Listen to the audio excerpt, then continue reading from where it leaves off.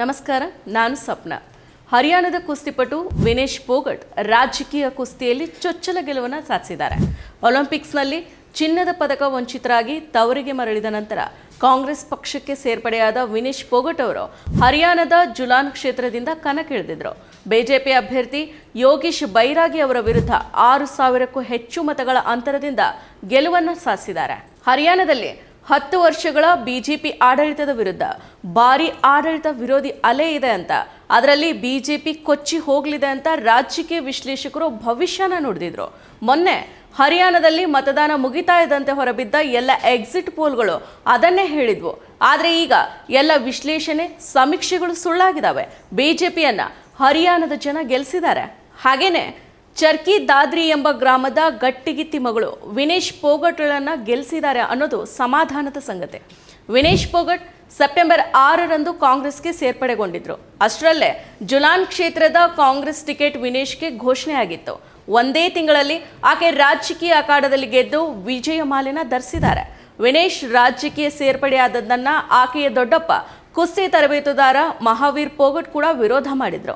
ಮುಂದಿನ ಒಲಿಂಪಿಕ್ಗೆ ವಿನೇಶ್ ಪ್ರಯತ್ನ ಮಾಡೋ ಅವಕಾಶ ಆಯಿತು. ಅದನ್ನು ಬಿಟ್ಟು ರಾಜಕೀಯ ಸೇರಿದ್ದು ಸರಿಯಲ್ಲ ಅಂತ ಹೇಳಿದರು. ಆಕೆ ಕಾಂಗ್ರೆಸ್ ಸೇರ್ತಾ ಇದ್ದಂತೆ ಲೈಂಗಿಕ ಕಿರುಕುಳದ ಆರೋಪಿ ಬ್ರಿಜ್ ಭೂಷಣ್ ಶರಣ್ ಸಿಂಗ್ ಅಜ್ಞಾತದಿಂದ ಎದ್ದು ಬಂದು, ನಾನು ಅಂದೇ ಹೇಳಿದ್ದೆ, ಇದೆಲ್ಲ ರಾಜಕೀಯ ಷಡ್ಯಂತ್ರ ಅಂತ.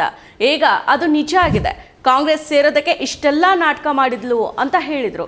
ಇನ್ನು ಬಿ ಬೆಂಬಲಿಗರು ಈ ಬಗ್ಗೆ ಕುಹಕ ಆಡಿದ್ರು. ಈ ಎಲ್ಲದರ ನಡುವೆ ವಿನೇಶ್ಳನ್ನ ಕ್ಷೇತ್ರದ ಜನತೆ ಗೆಲ್ಲಿಸಿದ್ದಾರೆ ಒಂದ್ ವೇಳೆ ಆಕೆ ಸೋತಿದ್ರೆ ಬಿಜೆಪಿ ಬೆಂಬಲಿಗರು ಆಕೆ ಒಲಿಂಪಿಕ್ಸ್ನಲ್ಲಿ ಅನರ್ಹಳಾದಾಗ ಸಂಭ್ರಮಿಸದಷ್ಟೇ ಸಂಭ್ರಮಿಸ್ತಾ ಇದ್ರು. ಆದ್ರೆ ಈಗ ಅದು ಸಾಧ್ಯ ಇಲ್ಲ. ಹಾಗೇನೆ ಅಧಿಕಾರದ ಮದದಲ್ಲಿ ಮೆರೆದಾಡ್ತಾ ಇದ್ದ ಬ್ರಿಜ್ ಭೂಷಣ್ ಈಗ ಮನೇಲಿದ್ದಾನೆ. ಆತನ ವಿರುದ್ಧ ಬೀದಿಯಲ್ಲಿ ಹೋರಾಡಿದ ಛಲಗಾತಿ ವಿನೇಶ್ ಈಗ ಶಾಸನ ಸಭೆಗೆ ಅಡಿ ಇಟ್ಟಿದ್ದಾರೆ.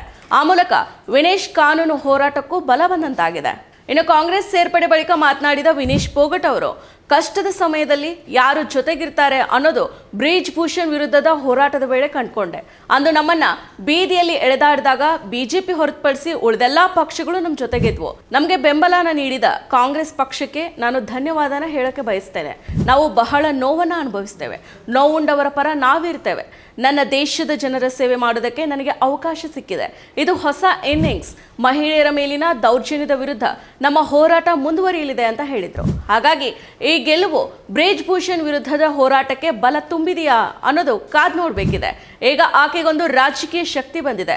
ಈಗ ಅಧಿಕಾರ ಸ್ಥಾನದಲ್ಲಿ ವಿನೇಶ್ ಇದ್ರೆ, ಆಗ ಸಂಸದನಾಗಿದ್ದ ಆರೋಪಿ ಈಗ ಸಂಸದನಲ್ಲ, ಆರೋಪಿಯಷ್ಟೇ ಆಗಿದ್ದಾನೆ. ಕುಸ್ತಿ ಅಂಗಳದಲ್ಲಿ ಸತತ ಒಂದೊಂದೇ ಗೆಲುವಿನ ಮೆಟ್ಟಿಲೇರಿದ ಛಲಗಾರ್ತಿಗೆ ಒಲಿಂಪಿಕ್ಸ್ನಲ್ಲಿ ಪದಕ ಗಳಿಸಿ ನಿವೃತ್ತರಾಗಬೇಕು ಅನ್ನೋ ಗುರಿ ಇತ್ತು.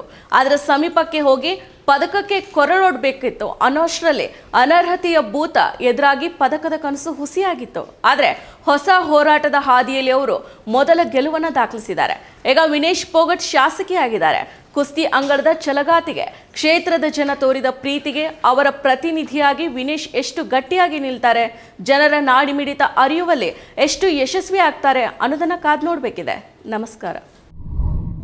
ಮತ್ತಷ್ಟು ವಿಶೇಷ ವಿಡಿಯೋಗಳನ್ನು ನೋಡಲು ಮತ್ತು ಹೊಸ ವಿಡಿಯೋಗಳ ಬಗ್ಗೆ ತಿಳಿಯಲು ಈ ದಿನ dot com YouTube channel subscribe ಮಾಡಿ ಮತ್ತು ಬೆಲ್ ಐಕಾನ್ ಕ್ಲಿಕ್ ಮಾಡಿ.